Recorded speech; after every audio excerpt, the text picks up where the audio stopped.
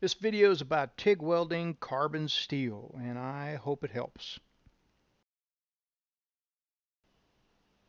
One of the very first things you do when you're learning to TIG weld, when you're first learning, is just bead on plate. First without filler metal, then with filler metal. But early on, you, you need to start paying attention to a few things, one of which is arc length.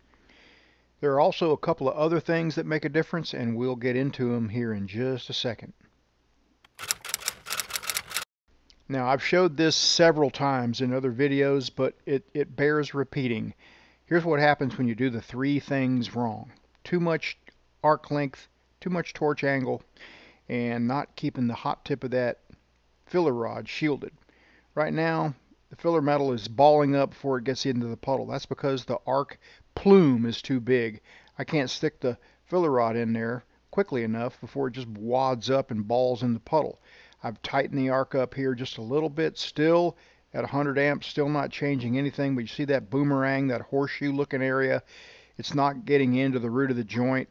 You're not getting the benefit of the precise action of a TIG arc by holding a long arc.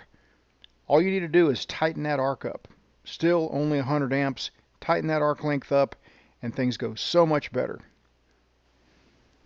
Okay with with a tight arc length in mind let's do a little padding of beads here on plate.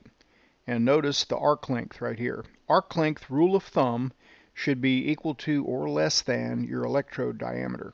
That's a really good place to start.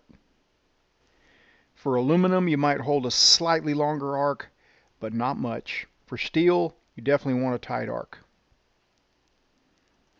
After you've run beads until you get a uniform bead, the next step in learning how to TIG weld is usually padding beads, or at least I think it should be. That's what gives you the most practice, the most bang for the buck without burning through a whole lot of metal. If you can't run a uniform bead, there's no point in trying to weld two pieces together on a lap joint or a T-joint or anything like that. It doesn't have to be a flat piece of plate either. I grabbed a piece of round stock here and was making one of those one of those logs you see on Instagram and other places. I was just kind of playing around running beads, stacking beads on a on a piece of round stock. And uh, I found it to be just as good a practice as if I'd have used the flat plate. And then I had a, you know, a, a keepsake at the end that maybe one of the grandkids will put on their desk one day when they're CEO of who knows what.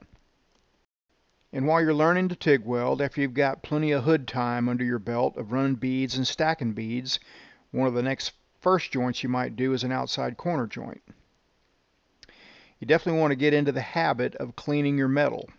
Even if it's cold rolled steel, even if it doesn't have any mill scale on it, it's going to weld better. If it's good and clean, down to clean, bright metal. An outside corner joint, probably one of the most common joints there is for TIG welding. If you're building a tank, a reservoir, a box, anything like that. This particular outside corner joint has got a piece of aluminum angle used for backing and backing is great. You can't always use it. Uh, I use it whenever I can. I keep pieces of aluminum scrap uh, in, in a bucket, you know, so I can use for things like this. I've got blocks of aluminum, aluminum angle, aluminum bar stock, and it comes in really handy. It prevents distortion. It pulls a lot of heat out of the metal. So I will go to quite a bit of trouble to put chill blocks and chill bars on the backside of a weld and on either side of it when I can, but sometimes you just can't. Sometimes it's not practical. We'll show another joint done with that here in just a minute. Now, if you're welding something like 18 or 20 gauge, chill bars and backing make a huge difference in in uh, not not so much pulling the heat out for discoloration, but really makes a difference on distortion. Now notice my arc length here. I'm still maintaining that that equal to or less than electrode diameter arc length. Makes all the difference when you're TIG welding. And then I back off, taper off the foot pedal back into the weld to prevent leaving a crater crack. Well, let's do that very same weld now.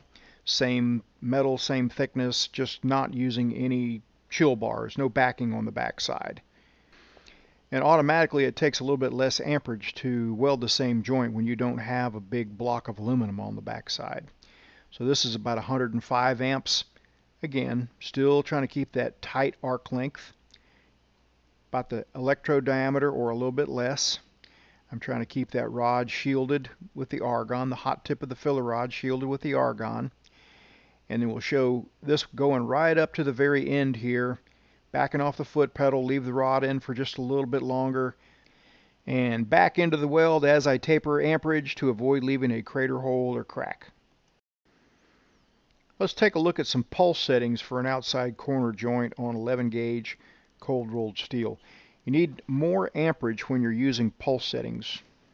So I'm going to go ahead and jack it up to about 142 amps, 2 pulses per second, and 30% background current.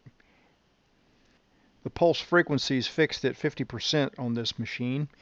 I went ahead and jumped up to a 332 filler wire and I'm just leaving it in the puddle, just using the lay wire technique. It looks okay. I'm just not really sold on this technique as far as my go-to technique. I was just experimenting here. I like to be able to watch the front of that puddle and see that it's wetting all the way down into the root of the joint. But I have done some cut and etch tests on corner joints like this using this very technique. It gets in there pretty good. Now the same exact pulse settings that I used right here on this outside corner joint will also work for TIG brazing with silicon bronze.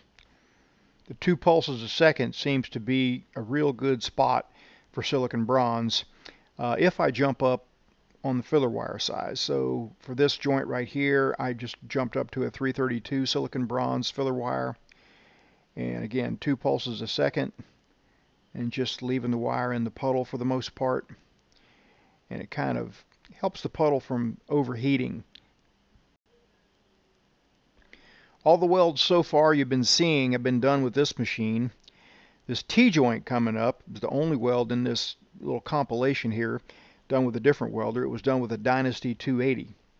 But arc length is super important on T-joints and lap joints. So take a look here. My amperage is reading out about 128, 129 and that's largely because I've got some aluminum backing on this thing so it requires again but probably 10 to 20 percent more amperage than if I didn't have backing. But the main things on a T-joint making sure you have clean metal and hold a tight arc don't use too much torch angle and keep the hot tip of that filler rod shielded with argon. Things will go a lot better. This is a big chunk of 4130 that's been preheated but I'm using a Furick number 12 cup so I was still able to get it to come out relatively silver.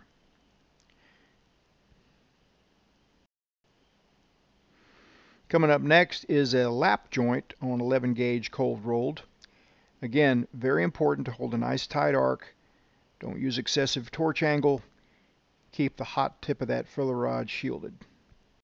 I know this is carbon steel, but it's a good rule of thumb anyway to get your puddle moving within three seconds.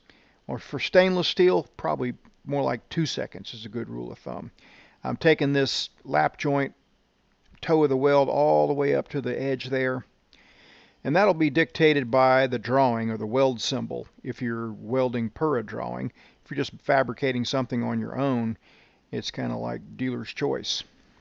But I kind of like to take it all the way up to the edge just to get a nice strong weld on there. I mentioned earlier about using chill bars for welding thinner steels like 18 gauge. This is some 18 gauge cold rolled.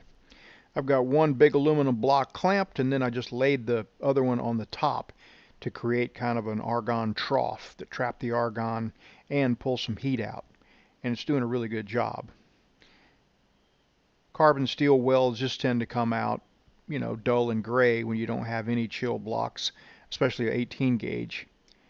But this makes a lot of difference. Again, you can't always do it, but when you can, it's worth the trouble. Hey, my online store is at weldmonger.com. That is how I support these videos. All the stuff you see there has been vetted. It's been tried out, and it's stuff I would recommend.